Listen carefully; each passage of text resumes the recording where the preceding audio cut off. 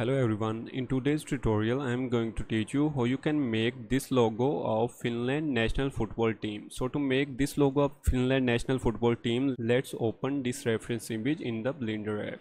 After opening this reference image in the Blender app, you have to go to the add menu and add a cube surface. Now press F1 and select the text option and raise it and write 1 and then select the font file and move it to the cube like this and adjust its location after adjusting its location you have to select this text along with the cube like this then duplicate and move it. Once again duplicate it and move it. Again duplicate and move it. Now select these four cubes and duplicate them and move them downward again like this bunch of cubes and duplicate and move them. Now i'm going to make a plane mesh of cube. For this i will just duplicate it several times until i will get plane mesh of the cubes. After getting a plane mesh of cube i will just duplicate it so i can make the central logo of finland national football team. And now i'm going to make the logo. For this i will just delete some cubes like this I will keep on deleting the cubes and keep on adding the cubes until I will get a single cube at the bottom surface.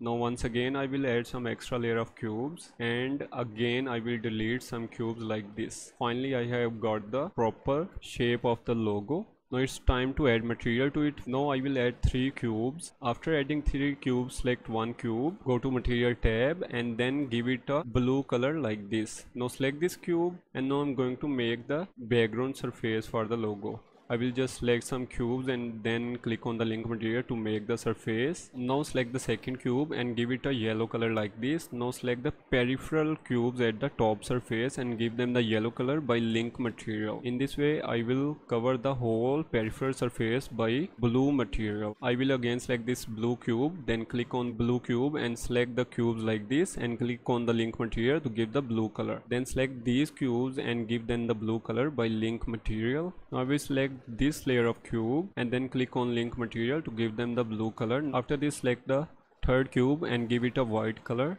Now select this layer of cubes and then click on link material to give them white color. Again select this layer of cube now select this layer of cube now select this layer of cube and give them the white color. After this i will make a boundary of blue cubes. For this select the material give them the blue material color after making blue boundary i'm going to write the Suomi letter. For this i will just select these cubes and then give them the white color. Now i'm going to write the Suomi letter. Select the blue material then click on the material and select them and then click on the link material to give them the color. So that i will get the final shape of s letter u letter o letter and m and i letter. So finally logo is ready.